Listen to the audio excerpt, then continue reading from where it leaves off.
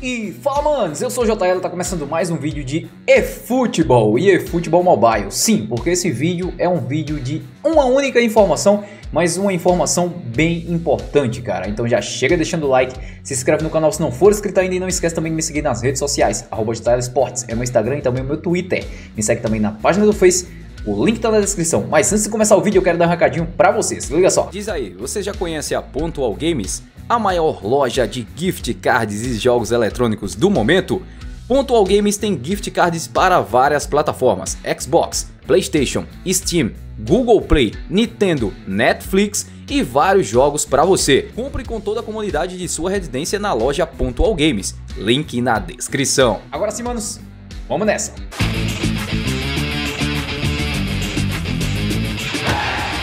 Bom, manos, e sem enrolações, vamos lá para o assunto principal do vídeo, cara. E o que é esse assunto principal do vídeo? Eu acho que você já deve ter lido aí no título do vídeo, cara. A Konami adiou a atualização para o eFootball deste dia 28, que era a versão 0.9.1, que traria correções, tá? E eles adiaram isso. Isso também afeta diretamente a atualização do dia 11 de novembro, que seria uma atualização aí que provavelmente traria para a gente o modo Creative Teams, que substituirá o My Club, né? Entre aspas, né? Porque vai ser tipo um outro My Club, só que com um novo nome. E caras, segundo informações, isso pode acontecer. O adiamento desse lançamento, o adiamento do roadmap, tá? Que é aquele programinha que a Konami tinha de lançar as coisas, tá certo? Então isso pode ocorrer, tá?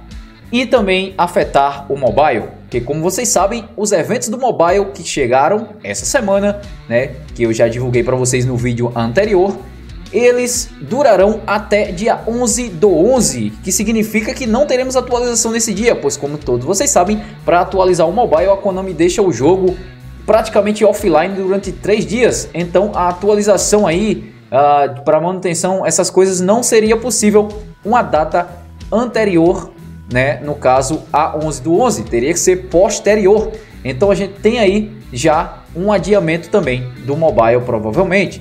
E onde é que eu quero chegar com isso? Bom, a Konami lançou essa nota, tá? Falando o seguinte: nota de adiamento da versão 0.9.1.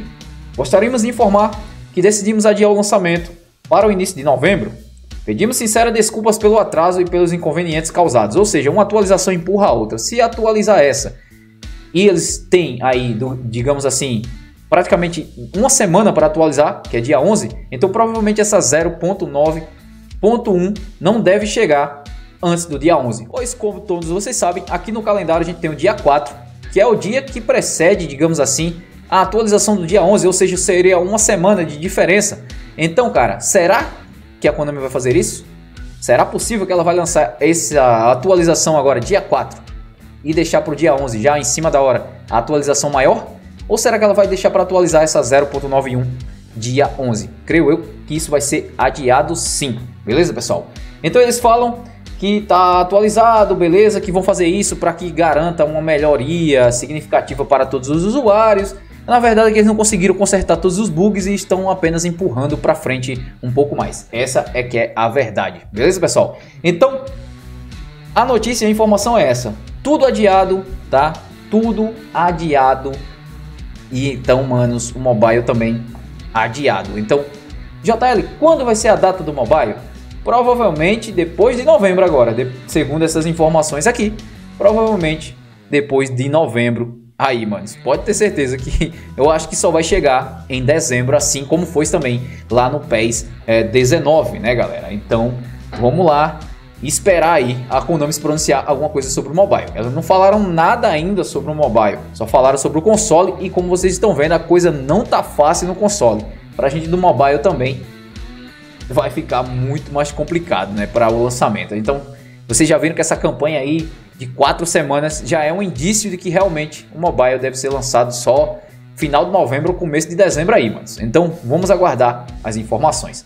Então é isso, galera. Esse foi o vídeo. Espero que vocês aí tenham entendido, a Konami adiou o lançamento dessa nova versão, né, de uma nova atualização desse update que corrigiria bugs para o console e com isso também joga para frente a atualização do mobile. Então provavelmente realmente a atualização do mobile lá para dezembro agora. Cara, vamos esperar realmente uma confirmação da Konami, uma, um pronunciamento aí para ver no que vai dar. Fora isso, sem informações. Os caras só postam uma fotinha aqui, um textozinho e vazam. Passam um mês sem comunicação. Parabéns, Konami. Vocês estão realmente de parabéns. Galera, vou ficando por aqui. Espero que vocês tenham curtido o vídeo. Não esqueça de se inscrever para mais notícias e informações sobre o PES. Se inscreva aqui, ó. Tá aparecendo logo aqui embaixo. E do outro lado ali, vídeos anteriores bombando no canal. Até a próxima, pessoal.